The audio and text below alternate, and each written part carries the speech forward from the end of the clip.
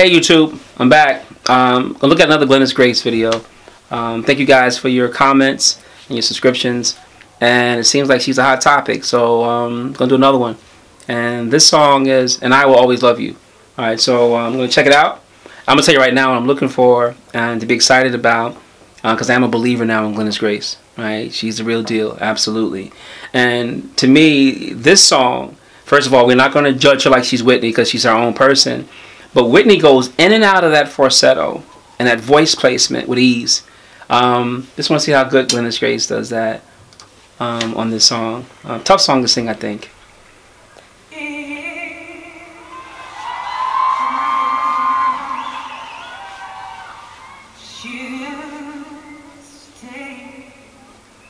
Hmm.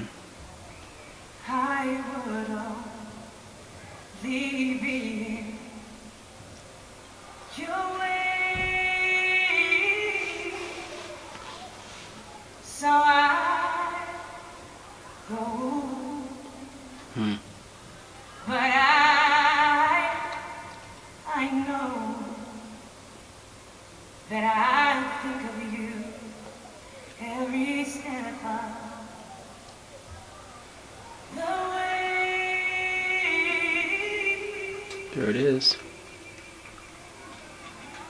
Very nice.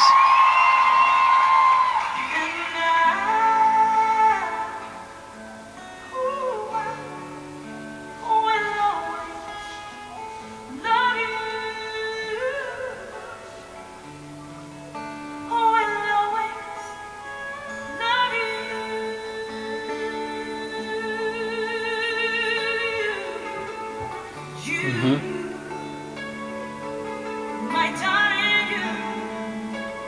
She took us into a world and y'all don't even realize it. So soft, so subtle. Be the sweet We there. memories. That is all I'm taking with me. So goodbye, but please don't cry. hmm We both know I'm not what you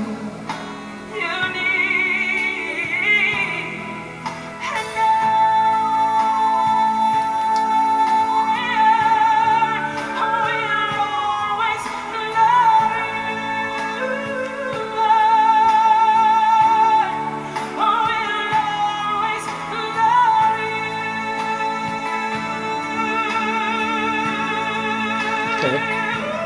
There it is. Very nice. Oh, who's this on sax? Let's go. Two beautiful women just killing it. I love how she started this song. No timing, took her time, and just got us like into this place. Now we're just drawn into her.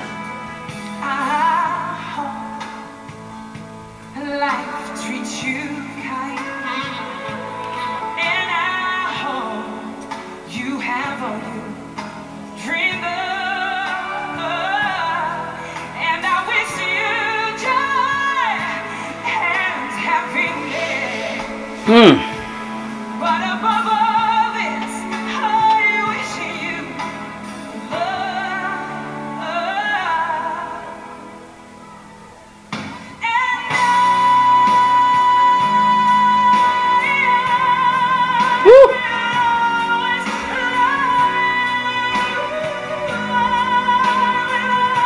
girl, you make me tear a little bit.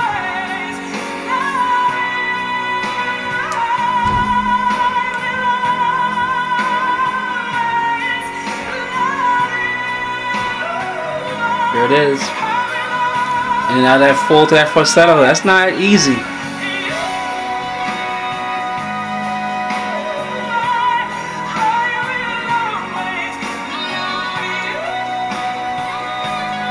Good stamina.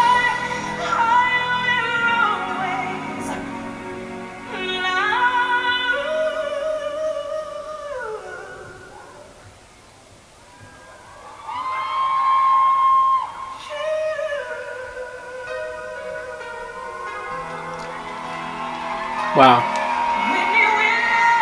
Absolutely.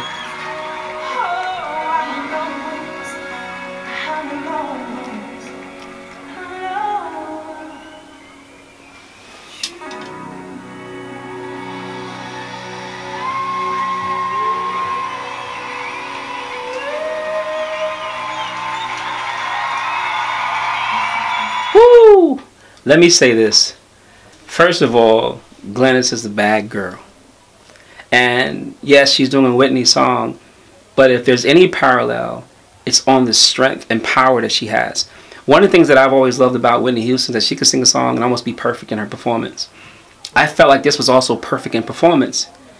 Great pitch, right? She had a lot of power to be able to sing that kind of power and then go back to those high falsetto notes. That is not easy to do. And then there was like, you, you tell me, where did she crack? On a song like that, she didn't. That is hard to do. That's like taking somebody who runs track and you know you're running like 80 miles, you know, and you're running 80 miles nonstop at the same speed. Very very tough to do. A lot of conditioning. Um, Glennis Grace, wow, girl, you're up there with all the best. You know, you know, Beyonce ain't got nothing on you. Whitney ain't got nothing on you. You, you're doing it. And for all young vocalists, like, no, no disrespect to what you're listening to with the R&B and the hip hop music, you know, that's a genre, and you should listen to it to everything. But if you're gonna really study the art of singing, you should be listening to artists like this. I would definitely put her in my cachet to other young artists to say, hey, listen to a Glennis Grace song because there's so much to learn from that. Because once again, like, you know, she's definitely a professional performance. And in the beginning, presence, right? You know, it's hard to teach. There's a difference of stage presence and presence. How she just started singing made you look at her. And to me, that's what presence does. Somebody walks in the room, you say, who is that person? She started singing, and you say, who's that singer? And she did it slow, took her time with it. She drew you into her, and then she exploded on the song. Once again, Glennis Grace, two thumbs up. Listen, don't forget to subscribe. Again, Mr. Harris, RYC. I enjoy doing this, enjoy spending time with you guys. And I'm to put up some classes, as we mentioned, um, soon. But please subscribe, hit the comments. You know, I forgot who it was in comments. Say, hey, man, you talk too much, right? But that's what I'm here for, right? But I talk less that time, thinking about you. All right. Um, so continue to check me out. Appreciate it. Um, see you next video.